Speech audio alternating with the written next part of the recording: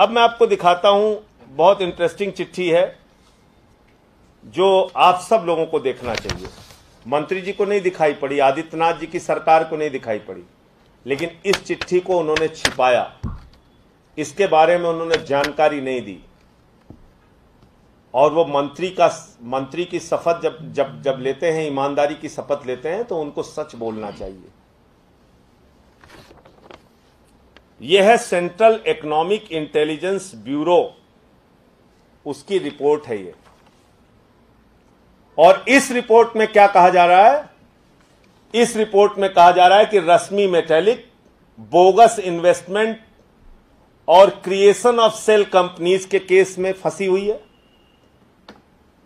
Wrong availment VAT के case में फंसी हुई है misuse of EPCG authorisation के केस में फंसी हुई है misuse of EPC authorisation के केस में फंसी हुई है undervaluation of imports seizure of unaccounted forty lakh इस कंपनी से तमाम इसके ऊपर आरोप है और ये आरोप मैं नहीं लगा रहा हूँ सेंट्रल इकोनॉमिक इंटेलिजेंस ब्यूरो की ये रिपोर्ट है।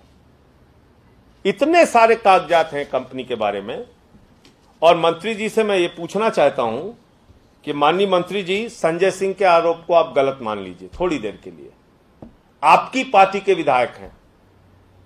डॉक्टर अजय कुमार, ये इनकी चिट्ठी है, भारतीय जनता पार्टी के विधायक हैं, ये आम आदमी पार्टी के विधायक नहीं है।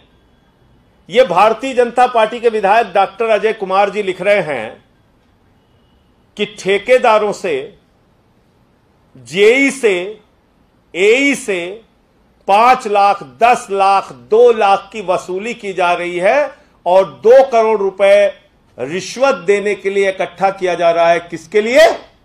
डॉक्टर महेंद्र सिंह के लिए। मंत्री डॉक्टर महेंद्र सिंह के लिए दो करोड़ रिश्वत देने के लिए पैसा इकट्ठा किया जा रहा है। ये मैं नहीं कह रहा हूँ।